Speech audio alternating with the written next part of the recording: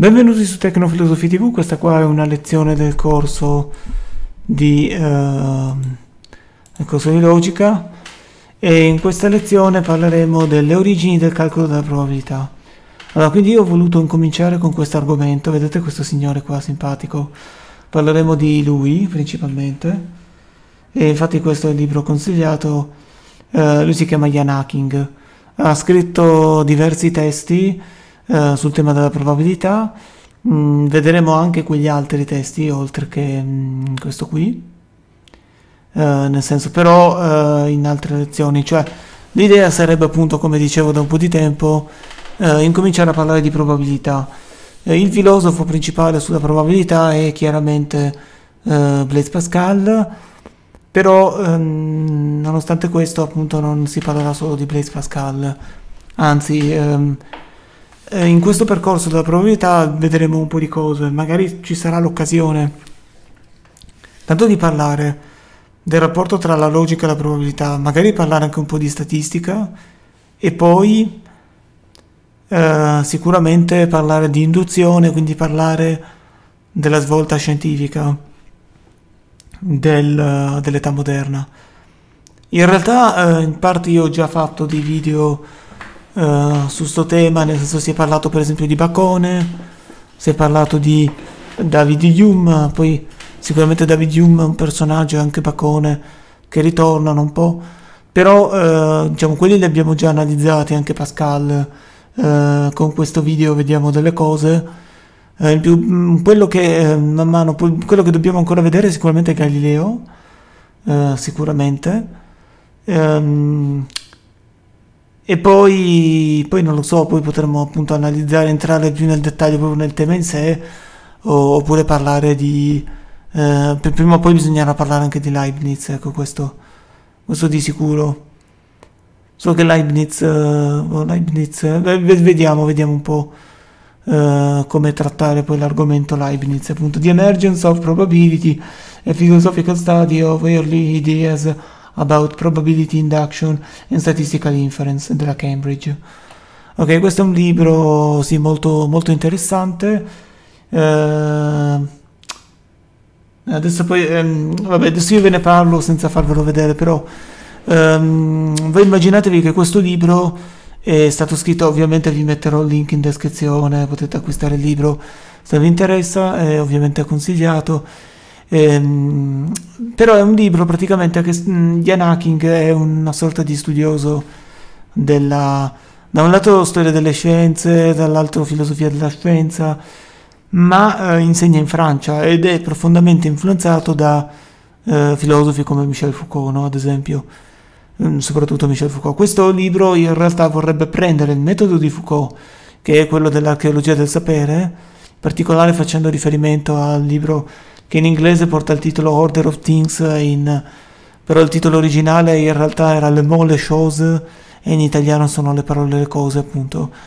Quel libro lì che mette in pratica, diciamo, l'archeologia del sapere, come altri, e, ehm, e che però eh, si incentra sulla eh, storia delle scienze e un certo fenomeno, no? un percorso eh, scientifico ehm, che parte da eh, un certo modo di ragionare basato su il, eh, mm, somiglianza e poi un certo sviluppo del concetto di rappresentazione, disegno e così via. Quindi è un, è un testo abbastanza importante che eh, mette al centro, diciamo, anche se uno pensa, non so, un esempio eh, dei tanti, perché in realtà si tratta di vari argomenti, no? per esempio c'è eh, la mm, filologia, c'è l'economia e c'è la biologia. Parlando di biologia, ehm, lui appunto traccia un po' la storia no, della eh, biologia da un primo momento in cui eh, la biologia non era biologia ma era storia naturalis,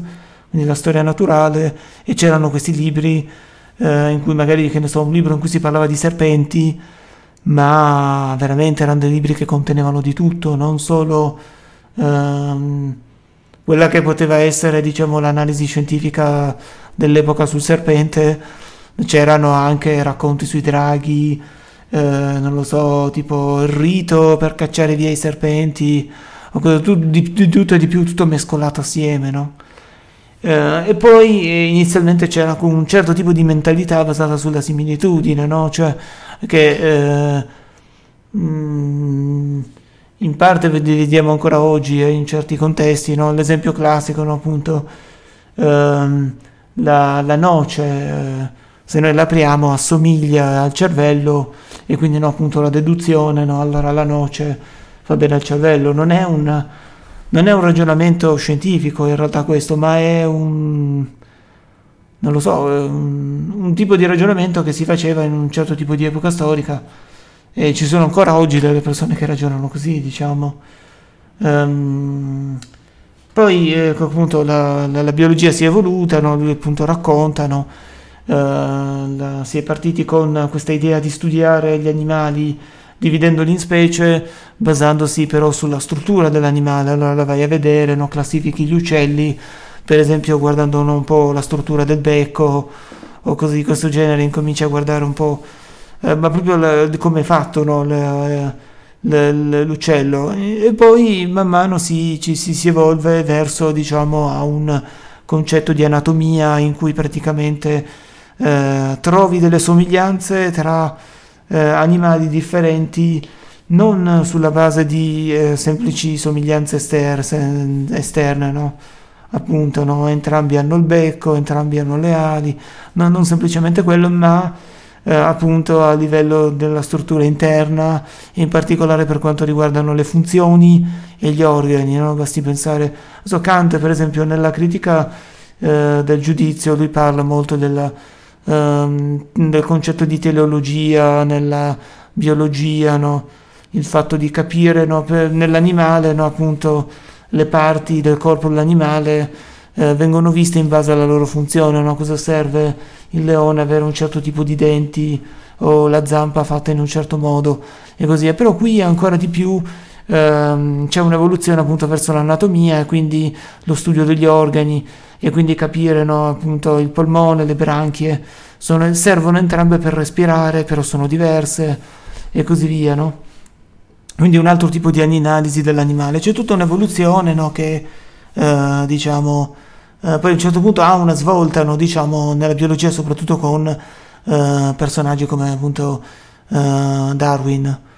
Um, quindi, quindi, quindi, questa cosa qua, no, che ha un metodo, diciamo, di studio no, eh, alla base, appunto per eh, Michel Foucault si tratta di capire l'origine di una scienza, questo è il metodo praticamente della, mh, dell'epistemologia francese, l'epistemologia francese nasce con Gaston Bachelard, poi ha un, diciamo, una sua evoluzione di cui probabilmente eh, Foucault è uno dei punti terminali, diciamo, perché poi eh, come dire, nella filosofia continentale sono tutti movimenti, i movimenti nascono, crescono e muoiono, eh, così funziona con i movimenti. E, e, e, mm, l'idea di Foucault è che praticamente c'è questa storia della scienza no, che è la vera spiegazione perché ehm, io, se io mi chiedono quali sono i fondamenti dell'economia, quali sono i fondamenti della biologia, quali sono i fondamenti di una certa cosa, non risponderò se sono un sostenitore della prospettiva dell'epistemologia francese come gli analitici che sostengono che eh, appunto eh, le scienze sono fondate su dei principi astratti, ehm, logici e così via, no? non, quindi non sosterrò appunto un certo tipo di ehm, eh, formalismo diciamo logico e così via, ma andrò a dire che eh, se voglio capire i fondamenti della scienza, cioè quindi come è nata, devo banalmente studiare la storia. So che la storia non è quella storia che insegnano ai corsi di storia, è la storia dei concetti e delle idee. Quindi è una storia un po' diversa, è una storia, un tipo di studio di storia che nasce anche un po' in quel periodo, volendo. I, i francesi sono campioni in un certo senso della uh, storia delle scienze, noi abbiamo avuto una storia, uno sviluppo diverso che è derivato principalmente da appunto, vabbè, il fascismo in Italia c'è, c'è, stato quello, in Francia è andata diversamente, hanno dato maggiore valore più che alle materie umanistiche in quanto tali, soprattutto allo studio della storia della scienza, no? e quindi questa tradizione della storia della scienza che trova su massima espressione nell'epistemologia francese. E come si studia questa scienza, cioè come funziona la cosa? No? Bisogna capire mm, che c'è un certo momento storico in cui nascono determinati concetti che prima non c'erano, che non vuol dire che le, quelle cose non esistevano, appunto, non, so, non, si sta parlando semplicemente di cose, eh, non è che qualcuno sta dicendo eh, che Ramses II non poteva soffrire di tubercolosi perché, eh, perché la tubercolosi non la conoscevano, non è quello il punto. Il punto è che però all'epoca eh, Ramses II, ehm, cioè dal punto di vista della, della scienza dell'epoca non, non, si sapeva cos'era la tubercolosi e quindi mm, era una malattia, si sapeva che c'era una malattia, poteva essere scambiata per una semplice febbre, non c'è, perché il punto è capire no, appunto, il concetto di campo epistemico, no? appunto il fatto che esistono degli oggetti che sono oggetti della scienza e che eh, vengono all'esistenza, no? compaiono in un determinato campo sistemico solo da un determinato eh, momento storico in cui ci sono magari delle rivoluzioni scientifiche che eh, spiegano queste cose. Tutto questo è estremamente importante anche per quello che noi stiamo vedendo appunto in questo corso perché uno dei temi centrali è sicuramente la rivoluzione scientifica uh, del 600, no? di, di, questo periodo qua, no? quello che c'è stato Bacone, um, Galileo, Copernico, tutto questo per Cartesio, questo Newton, cioè qui siamo ai fondamenti no? diciamo, di quella che uh, viene conosciuta come fisica classica, fisica classica appunto ha uh, come um, protagonisti diciamo Newton, Galileo, Cartesio, appunto uh, queste questioni qua. E noi vedremo anche questa cosa in uh, questa lezione in parte. Uh, quindi, quindi, questa cosa del appunto le origini del campo epistemico, no? della la nascita di determinati concetti che prima non c'erano e così via. Questo è il metodo di Foucault, no? cercare di tracciare no, um, come si forma un determinato eh, le condizioni per la nascita di una determinata scienza. E ovviamente però questo implica da un lato la storia delle idee, e poi ovviamente uno si studia anche uh, il periodo storico, certo ci sono queste cose, la società, no? un certo tipo di discorsi, un certo tipo di enunciati, no? si va a studiare tutte queste cose no? diciamo che possono avere più o meno un legame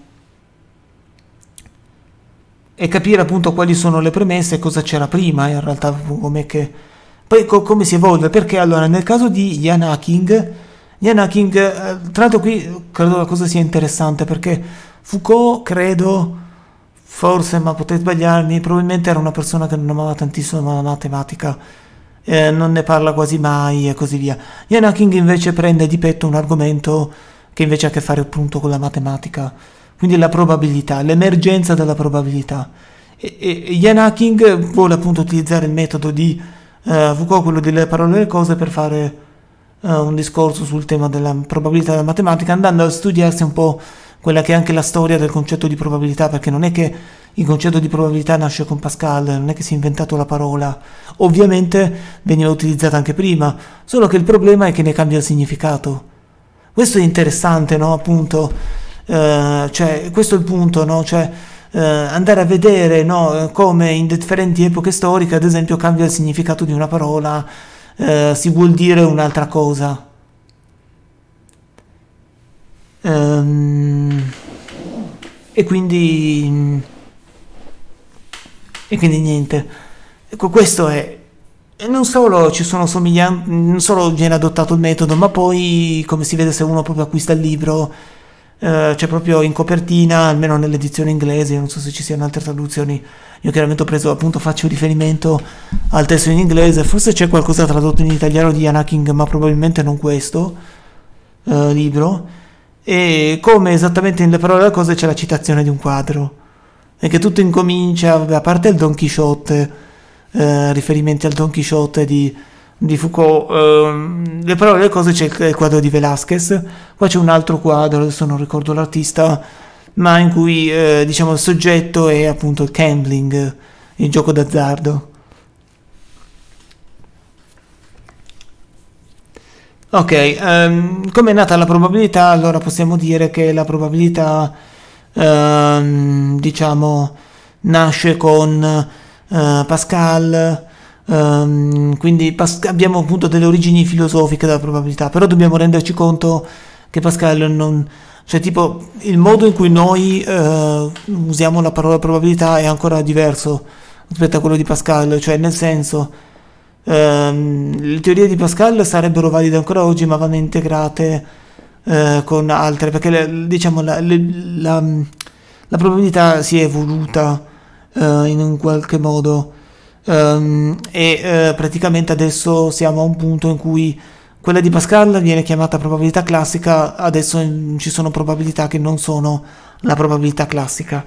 La probabilità classica è un concetto, si basa sull'idea per cui um, cioè la probabilità di un evento viene calcolata sulla base del caso, i casi in cui quell'evento accade eh, può accadere e i casi totali invece no, in cui Um, quindi, quindi, è una relazione tra queste due cose, quindi se uno lancia un dado, ad esempio caso classico, si dirà che c'è una probabilità su 6 se il dado si faccia che esca 6 o che esca anche 1 perché tanto alla fine è uguale.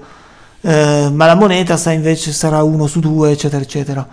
Uh, questa è la probabilità classica, il problema della probabilità classica come si sa è che se io prendo uh, due lottatori di sumo non posso dire eh, che le probabilità che uno dei due lottatori di sumo vinca sono un mezzo, solo perché sono due lottatori di sumo, allora dico la totalità 2, allora dico no, perché non è così, perché eh, probabilmente ci sarà un lottatore di sumo che è più bravo dell'altro e probabilmente ha più probabilità di vincere. E, ma questo Blaise Pascal non, non, non, non lo tratta, diciamo, non è, non è questo. Quindi vedete che la probabilità di Blaise Pascal in realtà ha tutta una serie di problematiche, in particolare eh, oggi si parla molto di probabilità condizionata, cioè nel senso se io ho una serie di informazioni su uno dei due lottatori di sumo che mi portano a pensare che ci sono maggiori di probabilità che quel lottatore di, di sumo vince, allora devo, devo, ricalcolarmi tutto, cioè nel senso non, non, non cioè, di certo non vado a pensare che la probabilità sia un, un mezzo, cioè eh, 50%, no, no, non è così che si ragiona. Uh, però con i dadi, con la moneta, effettivamente questi ragionamenti si possono fare, certo, a meno che il dado appunto non sia truccato, eh, perché se io lancio un dado da 6 facce ho truccato, allora a quel punto le probabilità che esca 6, se in tutte le facce c'è 6, diventano 6 su 6, però vabbè, questi sono casi che comunque non, vabbè, di per sé non, non mi pare contraddicano la, la, la, probabilità classica. In realtà la probabilità classica più contraddetta dall'esempio dei lottatori di sumo, che adesso mi è venuto così in mente o comunque da casi in cui uh, noi abbiamo uh, diciamo non, non può, le cose non possono essere pensate in termini così assoluti ecco se vogliamo definirla così da dove comincia questo interesse per uh, la uh, probabilità? Perché Pascal si sa, no? Pascal uh, ovviamente ha sempre amato la matematica, per quanto eh, abbiano l'abbiano un po' allontanato da quegli studi, lui in realtà si era avvicinato eh, tantissimo, per conto suo ci è arrivato alla matematica e soprattutto si è interessato molto di eh, geometria um, e ha scritto un testo che poi magari vedremo sicuramente, eh, lo spirito della geometria, non lui parla di queste cose. Eh, e la geometria è un altro argomento molto interessante relativamente alla logica, ma non è quello voglio parlare adesso, poi ci sono interessi di Pascal.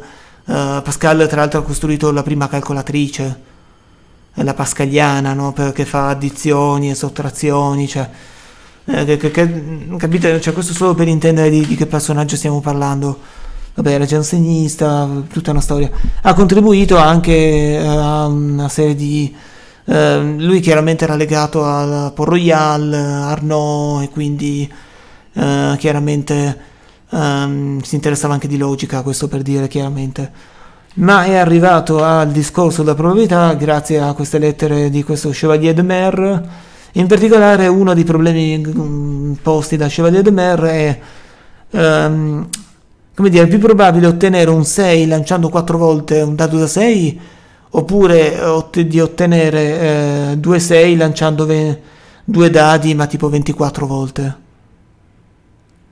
E, ehm, e quella cosa affascinante, no? eh, diciamo, è eh, scoprire che se io lancio 24 volte eh, due dadi, faccio dei calcoli, insomma delle cose, ovviamente ci sono più combinazioni, eh, però in realtà anche se a me intuitivamente così pensando penso ah cavolo se lancio 24 volte allora ci saranno più probabilità quelle 24 volte eh, e invece non è così, eh, ci sono più probabilità che lanciando 4 volte un dato da 6, ma perché poi bisogna fare, tener conto che il dato da 6, cioè, allora i casi favorevoli 1 su 6, poi c'è 5 su 6 quelli non favorevoli, insomma, um,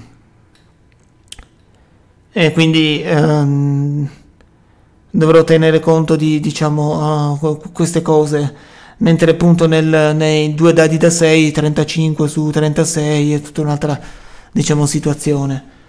Appunto Pascal risolve questo problema, adesso quello però ehm, diciamo ehm, qui è eh, appunto una delle prime volte in cui diventa appunto evidente no?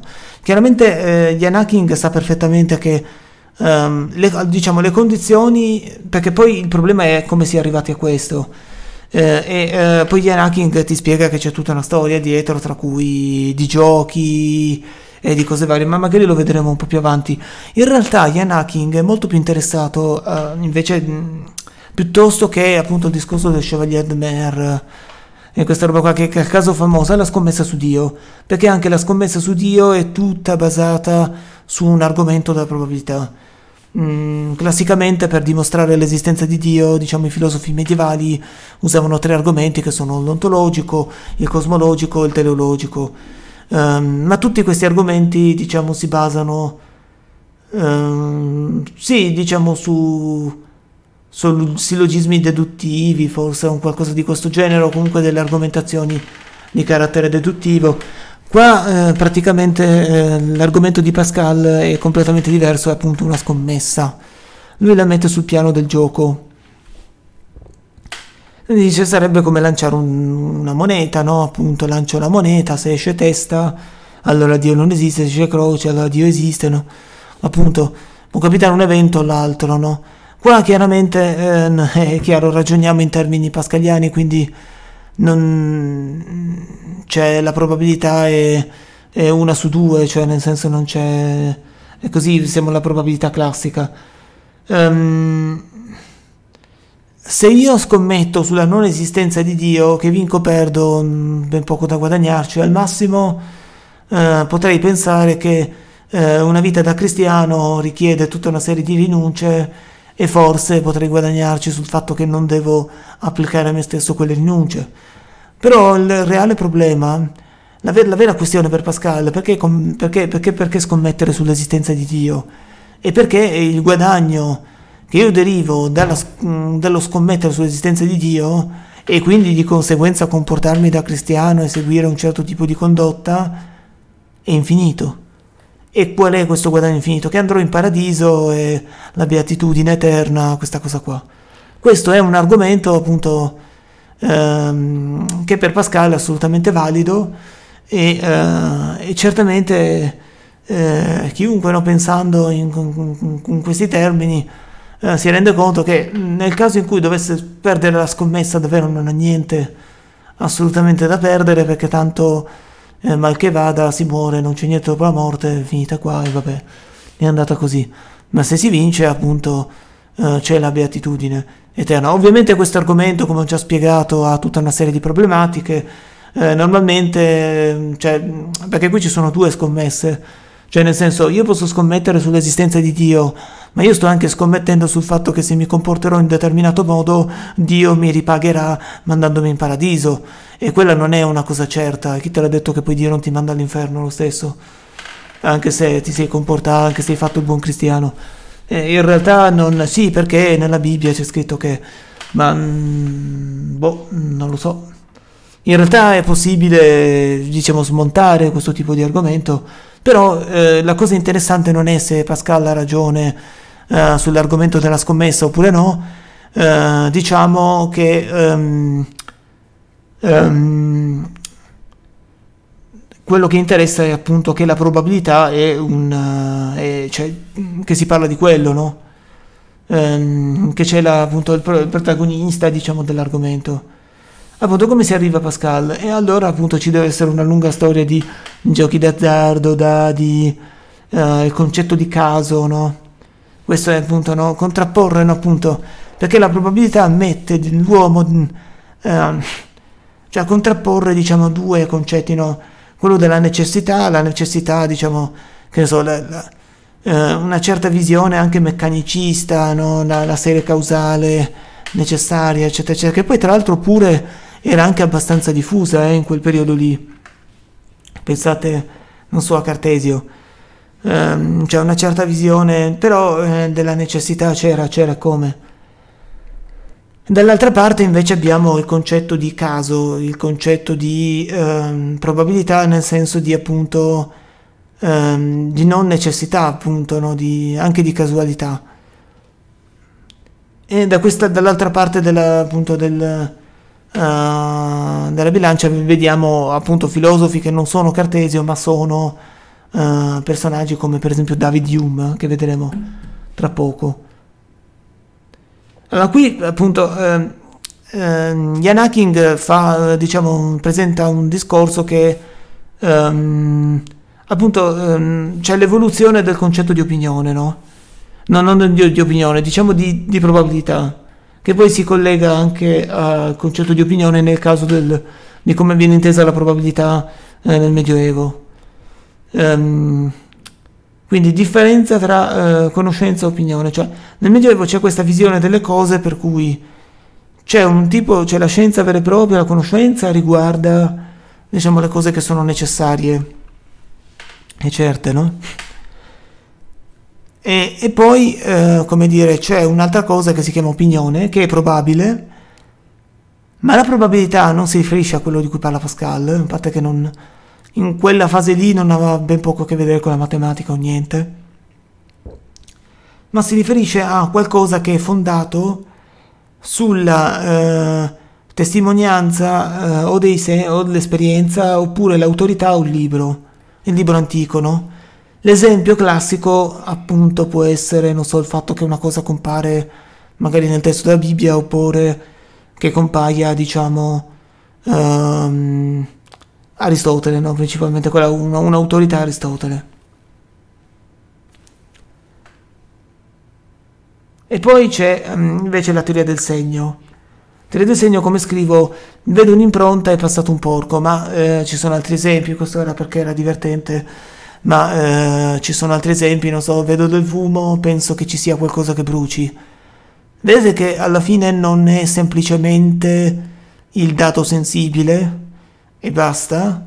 Uh, diciamo che io formulo delle ipotesi, diciamo che uh, trovo uh, delle relazioni causali tra le due cose, però vedete che la relazione tra l'evidenza e l'ipotesi è probabilistica perché non, non, è certo che se c'è del fumo qualcosa brucia, non è certo che l'impronta sia del porco, potrei sbagliarmi, e così via, no? Cioè, e quindi, ehm, diciamo, nel caso della rivoluzione scientifica, al di là del, vabbè, la matematica, ma in generale, ehm, diciamo, si eh, nasce una teoria del segno, il segno è quello, no? Il fumo, l'impronta del porco, cioè, diciamo, l'impronta che trovo per terra che poi attribuisco al porco, ehm, diciamo, e, ehm, e, che, che, appunto quella è testimonianza appunto della natura che noi eh, percepiamo con la sensibilità, ok? Ma eh, poi la teoria scientifica parte dall'esperienza, ma non è l'esperienza e basta, non è il solo, il solo vedere, no? Io eh, so che la Terra è sferica, ma non la percepisco come tale, da qui non la percepisco come tale, so che la Terra è sferica, e quindi, però eh, questo è un altro discorso. Quindi Galileo versus Aristotele, no, appunto. Il Medioevo versus la modernità, no, appunto. Eh, ma perché? Perché il mondo è scritto in caratteri matematici, vabbè, quella è un'affermazione di Galileo, eh, però eh, qui la contrapposizione è tra la vecchia autorità, qui non è ovviamente Aristotele in quanto tale ma gli aristotelici, cioè quelli che durante il Medioevo difendevano Aristotele come se fosse no, uh, qualcosa di, che non si può essere messo in discussione, anche perché poi sono riusciti più o meno a piegare Aristotele al, al testo della Bibbia, quindi diciamo, giocava molto ai loro fini, mentre le tesi di Galileo erano abbastanza scomode. Eh, avremo modo, io spero, di eh, appunto, vedere appunto Galileo, eh, questo potrebbe essere interessante soprattutto per quanto riguarda il concetto di induzione. Eh, Galileo in qualche modo è un protagonista di questa rivoluzione scientifica. Ehm, e questo è un, è un mondo che cambia, cioè nel senso che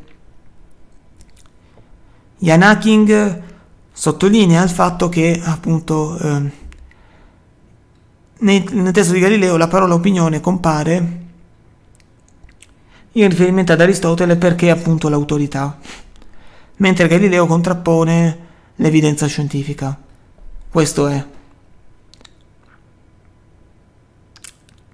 E a quel concetto di opinione poi eh, viene collegato il concetto di probabile. Quindi ancora lì si vede un certo tipo di pensiero. Ma le cose cambiano, cambiano nel tempo uh, in età moderna, no? e David Hume l'abbiamo già visto, in realtà ha già cambiato molto le cose. Um, soprattutto la concezione della scienza di David Hume, che è qualcosa di uh, molto diverso anche da, credo, sicuramente altri... No, vabbè, no, in realtà eh, perché questa è la cosa strana. Uh, David Hume, quando scrive quello che scrive, cioè il trattato sulla natura umana, Human Nature, lui è convinto che quello che dice è in realtà in perfetta sintonia con la visione di Newton. Uh, diciamo, almeno penso sia questo, diciamo, anche suo, la sua visione delle cose. Um, e boh, questo è, cioè, nel senso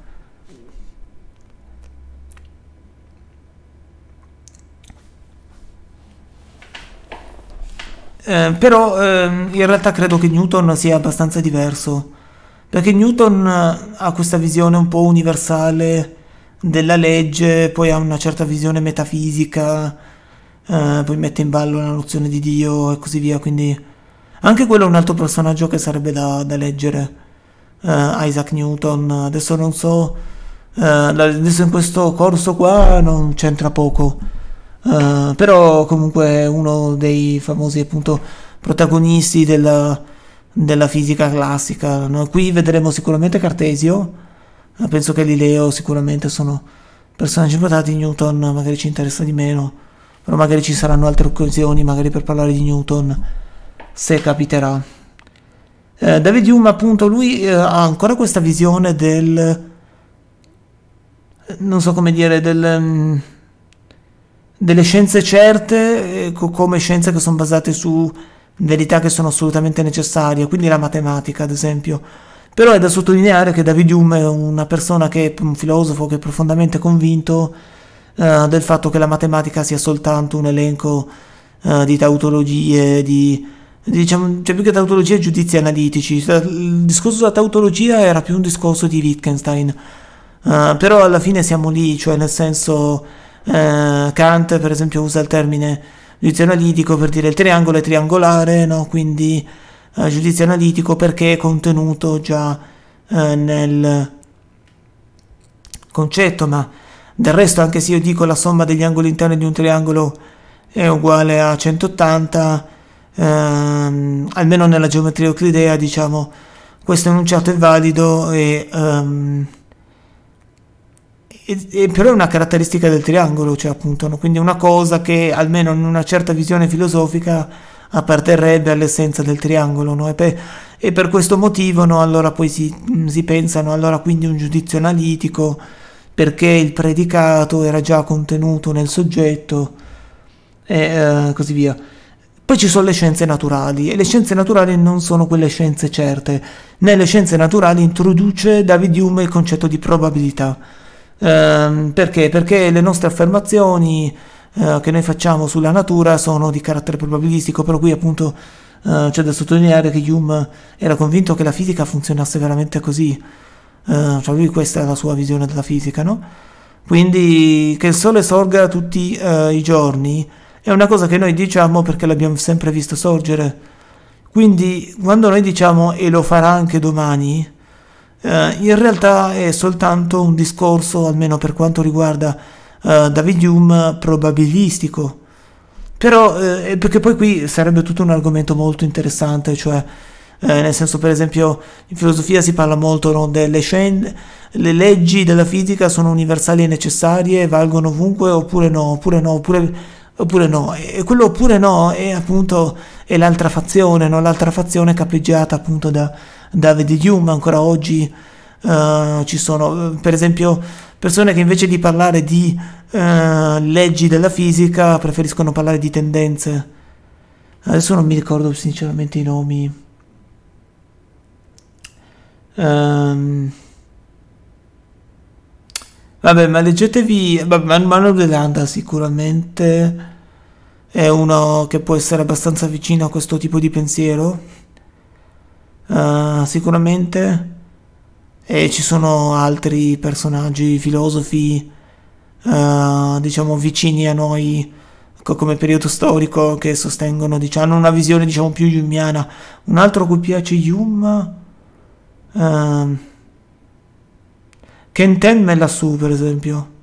Anche quello è un altro cui piace Yuma. Comunque, quindi noi diciamo che le cose vanno sempre in un certo modo, no?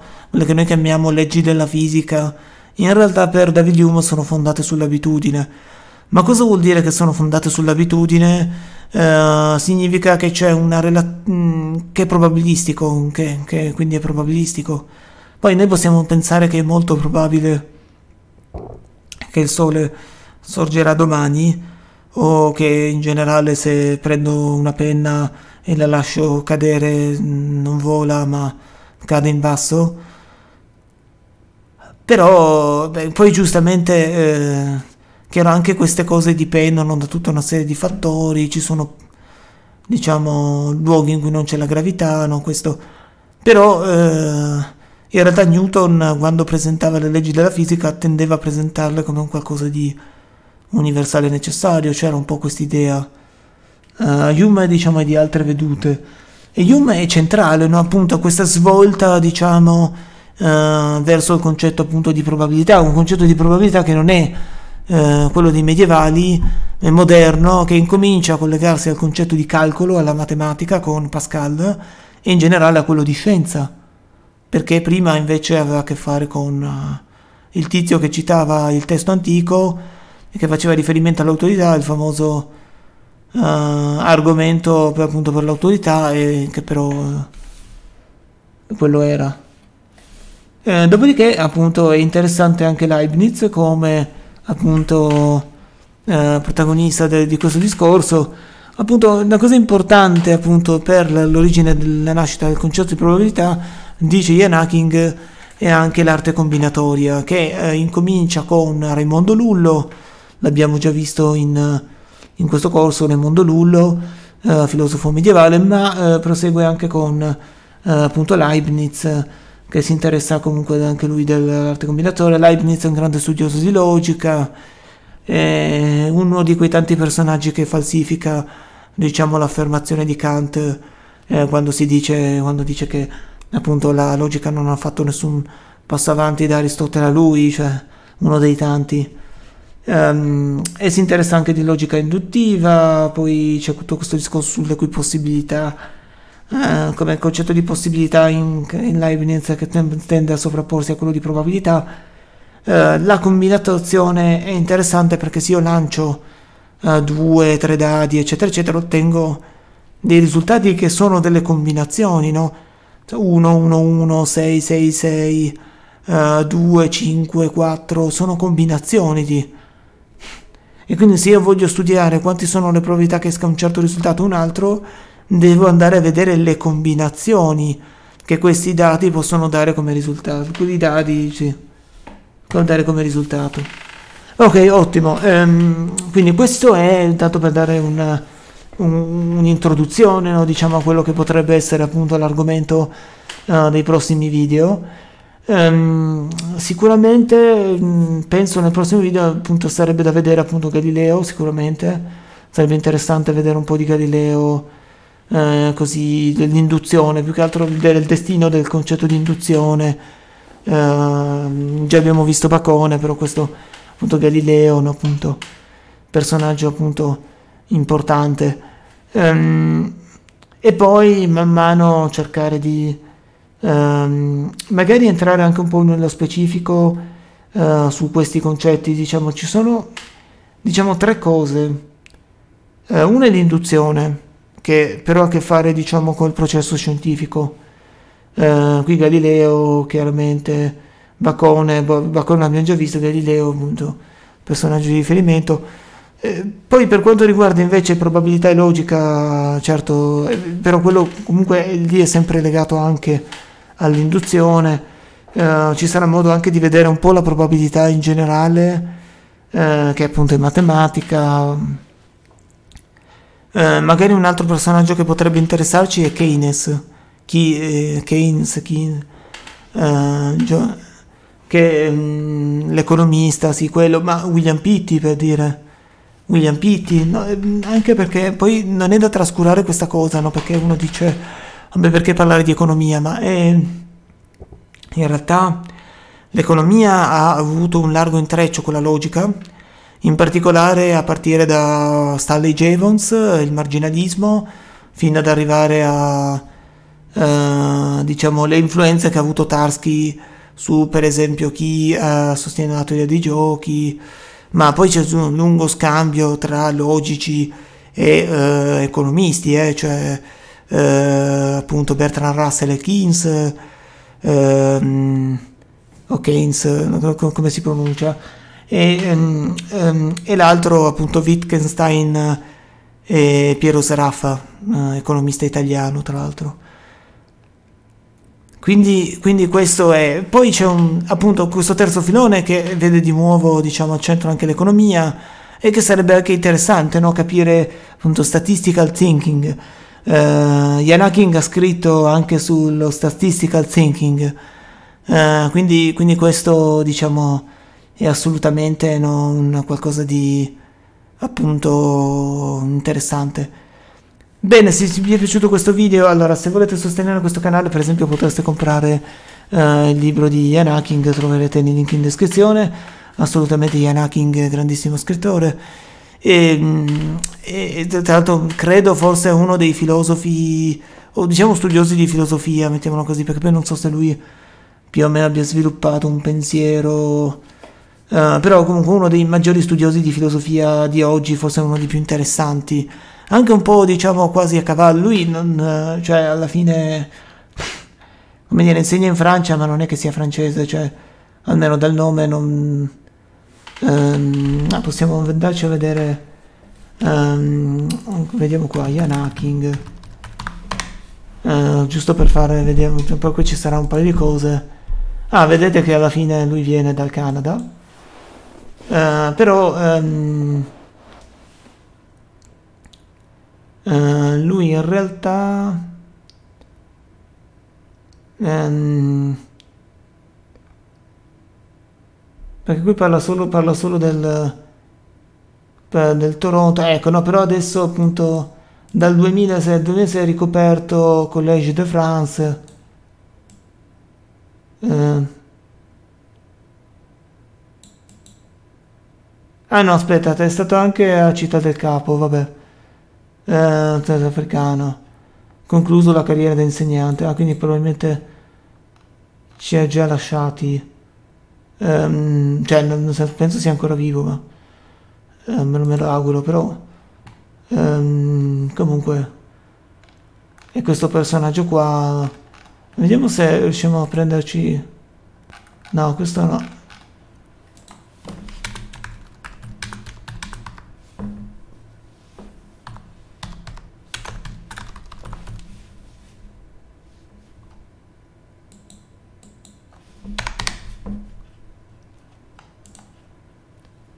Adesso io qui non, non, so, ma magari si vede male. Questa è la copertina appunto dell'album, della, mm, del, del, libro e vedete appunto il quadro appunto sul... Questa è l'edizione della Cambridge, io non ho idea se ce ne sia. Però vedete che ci sono un sacco di testi molto belli, veramente di questo personaggio. Uh, sarebbe proprio da, da, da esplorare assolutamente.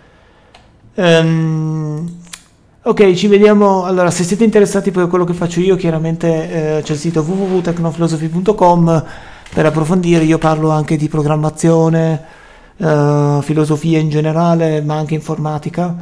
E quindi um, avrete modo di appunto su, su, guardando il canale YouTube Tecnofilosofia TV, canale Twitch Tecnofilosofia TV avrete modo di uh, conoscere magari tutti questi temi uh, diciamo che io tratto. Uh, niente, per il resto ci vediamo alla prossima lezione in cui parlerò presumibilmente di Galileo.